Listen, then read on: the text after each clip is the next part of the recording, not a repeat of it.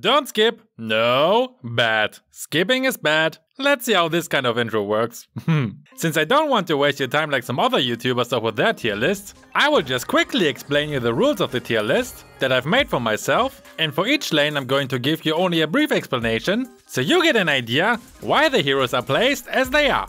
Hello my friends! Only 9 heroes can be placed into each tier. I did that, so we were forced to make some hard decisions and not put 20 heroes in the same tier. Because this is pretty useless in my opinion. That means when a hero is missing from a list, that hero was not good enough to be even okay. Have fun hating by the way. Also, this is a solo queue tier list. If you play as a 5-man team, or in the pro scene, this list would look quite different in some areas. And last, every hero in one tier is on about the same level like the others. There's no high best and low best tier.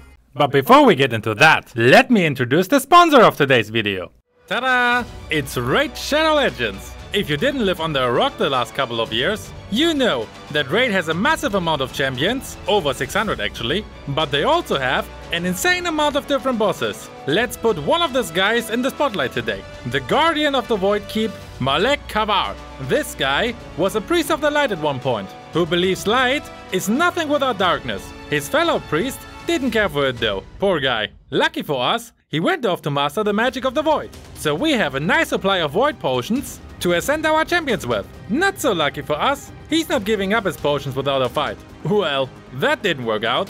Better I train my own champion cast. We have my beautiful elf leader, a beautiful dark elf, which every enemy seems to hate for some reason, my war priest, who beats down everyone instead of buffing my team, and a random crusader. Let's see how well we do in this dungeon. Well, this is harder than I thought. Time to upgrade some items and give my elf some nice food. That's right, you can feed your champions by sacrificing your unwanted champions in the tavern. And your favorite champion eats them afterwards, but I don't think too much about it. So, round 2. You guys still remember us? Now take this. Booyah! This will be a cakewalk. Uh, easy GG. There's also a big update coming in this month. The Guardian Ring. It's a huge feature that gives you a lot of new ways to use your champions, including a whole faction guardian system, a new way to get legendary champions you miss out on, and an entirely new way to upgrade your favorite champions. And if you wanna get a huge head start in raids, all you have to do is hit the link in the description or scan my QR code here, and you will get the epic hero Chonoru 200,000 silver, 1 XP boost, 1 energy refill, and 1 ancient shard. So you can summon an awesome champion as soon as you get in the game. All this treasure will be waiting for you here and are available for new players for the next 30 days. So again, hit the link in the description or scan my QR code and start your journey today.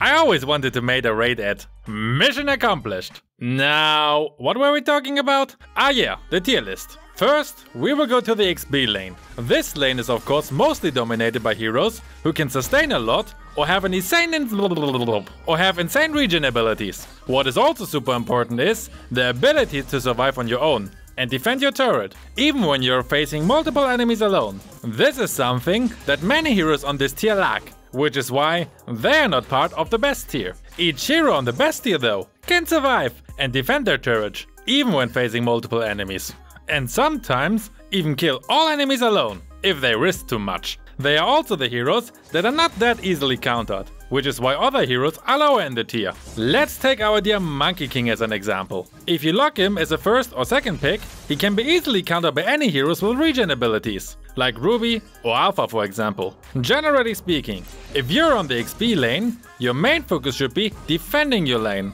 and only secondly pushing your lane or rotating to help your teammates to secure the turtle for example. But remember, try to avoid rotating further than the mid lane, because then you can't defend your lane anymore. Another thing you should do is using your full combo on the like button.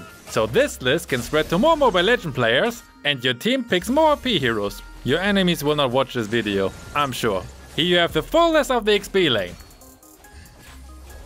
When it comes to the gold lane, you are something like a second carry of the game. Usually it's a jungler who carries the game, because they have the tank and the mid lane as support, at least theoretically. I was playing in Epic for another series I'm preparing, and the tanks there are still babysitting the gold laner. Well, with the heroes in the best tier, you don't need a babysitter. They are all able to control the lane, even when they are going 1v2 against an enemy with a tank. The mages on this list are really good picks when playing against an MM, because in the early game, they deal much more damage. And you can delay their farm drastically. Without any help, they're easily doomed.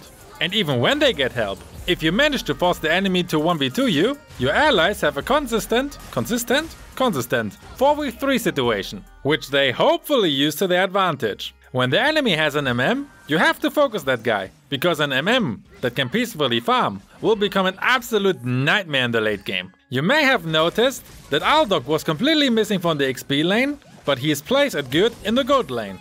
So let me explain it quickly. On the gold lane, you will face mostly heroes that are not that strong in the early game. And you can stack his passive pretty good, even when playing passive. Because you're getting 2 stacks now, when not last hitting a minion. Use bushes and only go close when your second skill is available. Then you can farm quite decently in the gold lane. On the XP lane, this is very difficult because many heroes are really strong in the early game and can pressure him so much that he can't even get near enough to the minions anymore to gain any stacks. I saw others putting him even in the best tier, but in solo queue, it's much more difficult to perform well with him than with a team. Here you have the full list for the gold lane. Victory! Now, when it comes to the mid lane, it's almost completely dominated by mages. The only exceptions are Matilda, Selena, Beatrix and Kaja, which has all great rotation and support abilities. Latest when you've reached level 4, you can dominate with these mid lane heroes, so you have to make use of it. As a mid laner, your time to shine is most in the early to mid game, before the jungler and the gold lane takes over this role, and you become more like a second support, next to the roamer. Selena, Pharsa, Yve and Kagura are the best at doing it. From the early game on, they deal a good amount of damage, and especially Pharsa and Yve has awesome support skills with their ult, which can be perfectly used to secure objectives, while you can terrorize the enemy with Selena and Kagura non-stop. Matilda is an awesome support, and if you're not playing solo queue, she definitely deserves a place in the best tier. But, since you can trust your allies in solo queue, I put her only at great, because carrying a game alone with her is more difficult than with the other heroes on the top tier. Another hero that almost made it to the best tier is Cecilion. Now usually in a team, I would put him at great or maybe even just good. But since he's one of the only heroes that never stops from getting stronger due to his passive, you can carry many games with him, especially in solo queue and in lower ranks like Epic. The games there tend to be quite long, which makes him a really really good hero for solo queue, because even when your team is losing out big time, at minute 20, you can almost one-shot any enemy with an AoE skill and turn around the match completely. Here you have the full tier list for the mid lane.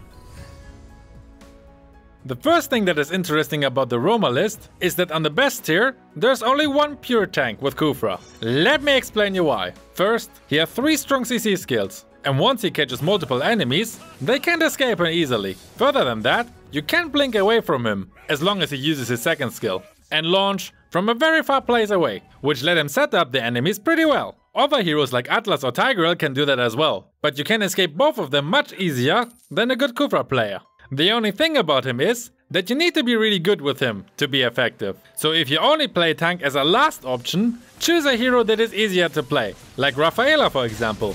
With her, you can speed up your allies, which is great in any ganking situation, and give them some heal as well. She also has CC abilities, although they're not as strong as from other roamers, but they're enough considering that she can buff her own team quite a lot. Even when you just stay near your allies and non-stop heal and speed them up, you are already doing a good and useful job, more than picking Johnson without a good partner for example.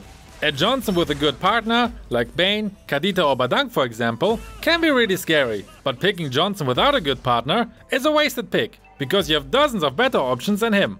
So please, don't pick him without a good partner. Here you have the full Roamer tier list.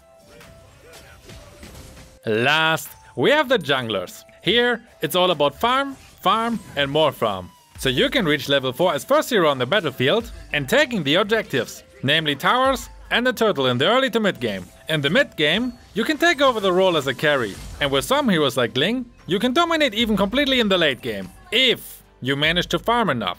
The right mixture of aggression and awareness is required here. What makes this one a role that you need to practice to become really good. With the heroes on the best tier, you have the best chances, because they can all carry the game by themselves. even when you have a noob team. Now, as I said, I was playing a few rounds in Epic. I saw Sabi, Sabi? I saw Saber and Harley and even Helga being banned there. Please don't do that. Sure, Harley and Saber were pretty strong at one point, but right now, there are so many much stronger heroes that you should be afraid of, like the ones in the best tier of each list. Saber can't really even one-shot heroes anymore in the early game, so I don't understand why everyone in Epic is so afraid of him. I played him by myself and must say, he was much much better a few months ago.